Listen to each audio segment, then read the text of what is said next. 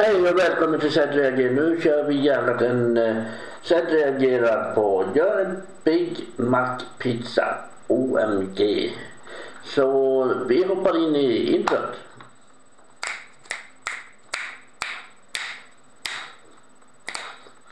Och här är jag tillbaka igen. Så vi kör en liten Big Mac pizza. Inga konstigheter heter Youtube-kanal. Sjöberg. Ja, jag tänkte på Patrik Sjöberg. Ja, Patrick Simante. Kära tittare, här står jag Thomas och dillar om gamla saker som inte har någonting med dagens avsnitt att göra. Och hej hej och välkomna till vår kanal! Och hej hej och välkommen till vår kanal. Det här är inga konstigheter. Där vi tidigare till exempel har gjort, ja, ätit durianfrukt, vi har picklat saker i Coca-Cola, vi har ätit kattbajs håller jag på att säga, en halloween. Det såg ut som kattbajs i alla fall. Idag ska vi ta det bästa av två världar. Vi har pizzan, överskattad maträtt tycker jag. Och vi har Big Macen, hamburgaren, överskattad maträtt tycker jag. Jag tycker det. Sen gör vi så här. Mm, Och då får vi Big Mac. Pizzan, så det är dagens uppdrag. Så är det här eh, en kanal du brukar titta på. Tumma upp redan nu. Är det första gången du tittar, då kan du vänta lite och sen bara tänker du Oh my god, det här var bra. Jag ska tumma upp. Du kan även bli medlem på kanalen. Det gör du genom att trycka på bli medlem-knappen som finns i alla fall på dator. Jag kollar inte på mobil, men den finns där. Och då får du se vad du får. Bland annat massa extra material. Så vi ser vad som händer. Jag kommer göra så här att jag tittar den här videon och reagerar på den här videon. Och om det är så att jag tycker om den så får du en tumme upp i min reaktionsvideo. Det är också en massa härlig merch. Förkläden, koppar och grejer. Så kan du stötta oss så gör det. Annars gör du inte. Men gör helst det, för annars. Det första vi ska göra nu är den så kallade Big Mac-såsen. Vi har gjort en version tidigare när vi gjorde en egen bild. Jag stöttar dig genom att jag gör en Zed reagerar och säger åt mina följare gå in och följ på Inga konstigheter. Men jag tror det här är ett helt annat recept. Ja. Det vi börjar med är lök. Nej. Det vi börjar med är majonnäs. Majonnäs. Nej, fel. Har du inte pluggat på innan? Det är ungefär 40 gram majonnäs i den här. Majonnäs, det är ägg, det är olja, helst inte olivolja. Det har jag lärt mig den hårda vägen. Insert klipp på f***ing jävla Skagen. Jag har säkert sagt det förut, men jag säger det igen. Kom ketchup så går vi vitsen. Två tomater går över en väg, kom ketchup så går vi. Tanken är ju att two tomatoes walked uh, over the road, whatever. And one got uh, drive over and whatever. Och the other one said ketchup. Det är skämtet. Ja. Hur det har blivit ett skämt på svenska, det är så ungefär som 80-tals översättningar av filmer. känner jag. Vad sa vi nu då? Eh, vi sa 30. 30. Får vi med det här ljudet? Jag väntar. Vad sa vi? 15. 15. Så en, Senap är jävligt gott. två. Det räcker då.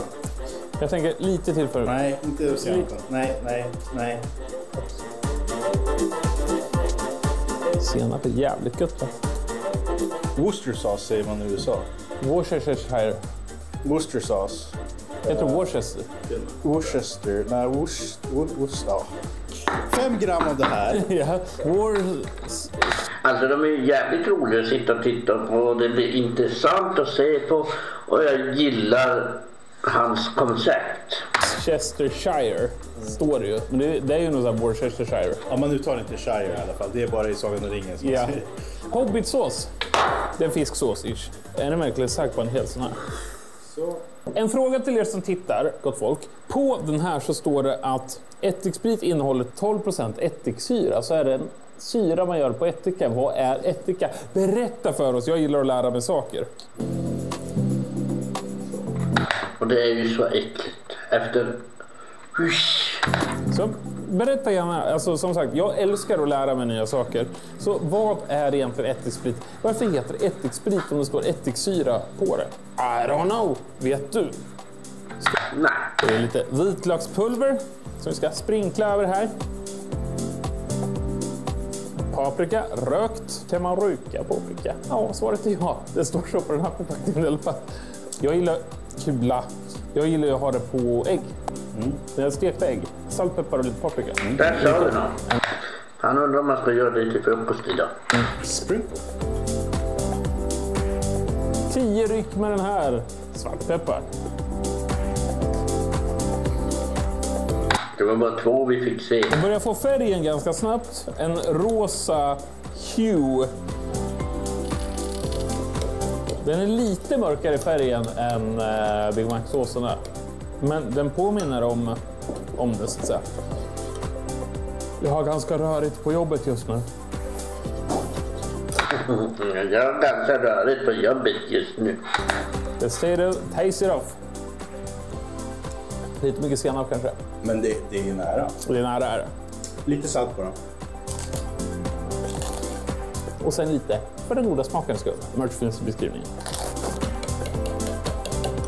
Vad gör vi nu Thomas? Gott folk, vi kommer köra inte ens en timelapse utan vi kör bara ett hårt jävla klipp tills allt är klart och vi sätter ihop det här.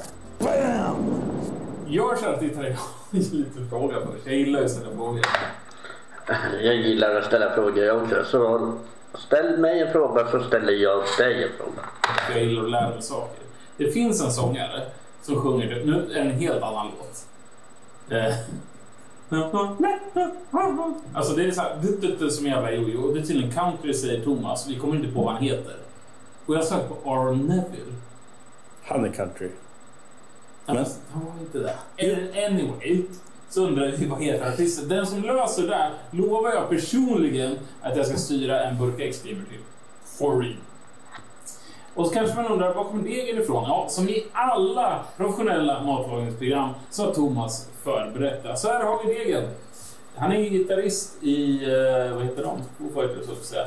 Ah, skitsamma. Han Backyard. Babies. Yes, just det. Från Småland. Backyard Babies. Degen. Thomas, hur gjorde du degen? Blanda en matsked mjöl tillsammans med jäst och ljummet vatten. Låt vattnet stå i fem minuter. Under tiden kan du förbereda mjöl och salt i en stor bunke. Det här är ju lite att kolla som 90-tals matlagningsprogram. Jag gillar det konceptet. Och jag gillar just det här när, de, när du berättar alltså blanda, gör så, gör så, gör så. Det är så klockrent så ingen kan göra fel. Kontrollera så att jästen lever och att du ser bubblor och häll ner vattnet i bunken. Börja med att knåda. Det kommer att vara väldigt kladdigt. Och eh, tillsätt vatten pö om pö så att säga.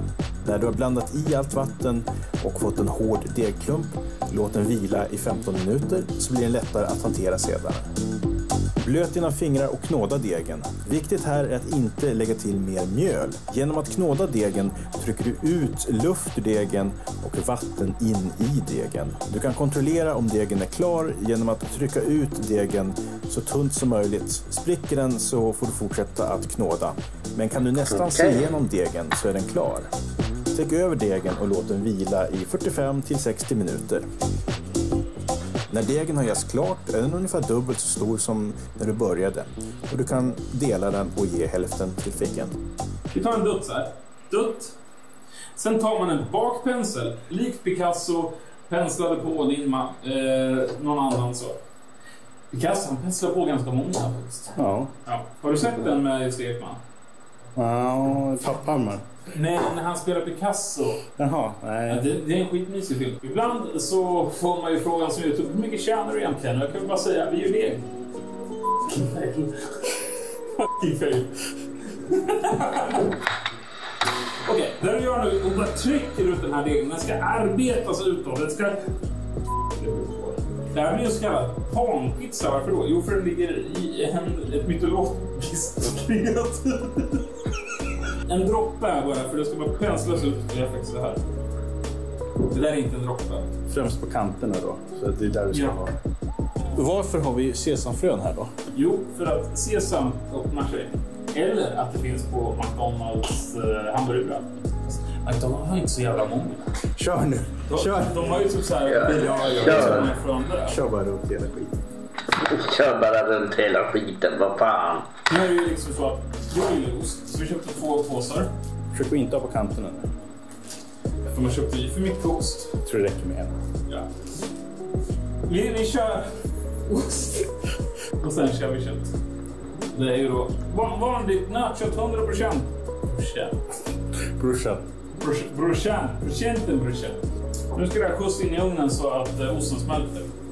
Ja, då har denna underbara pizza fått stå i ugnen i 20 minuter. 20 min- min- min- minuter.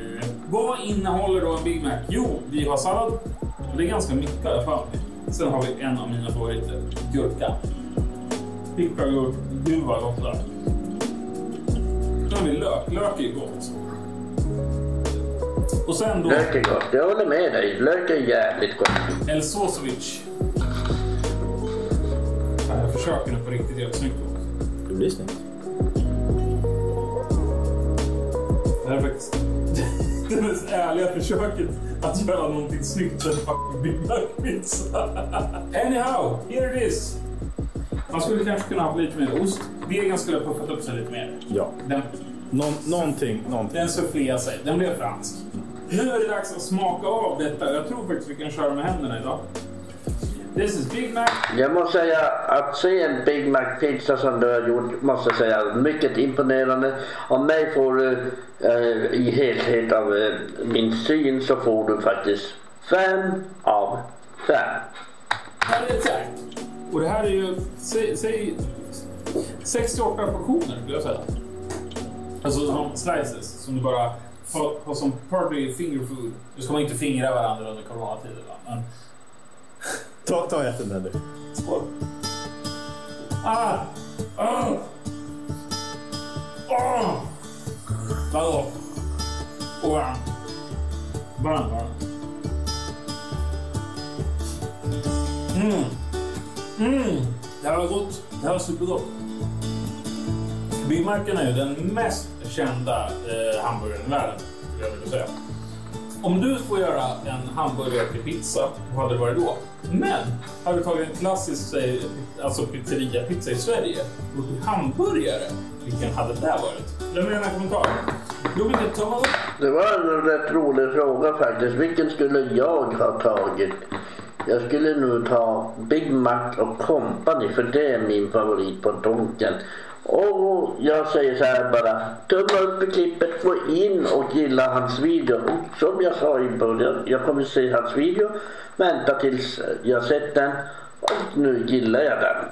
Eh, gå in och prenumerera på han, han är skidkung. Eh, ha en jävligt fin dag så ses vi till nästa sändning. reagera helt enkelt.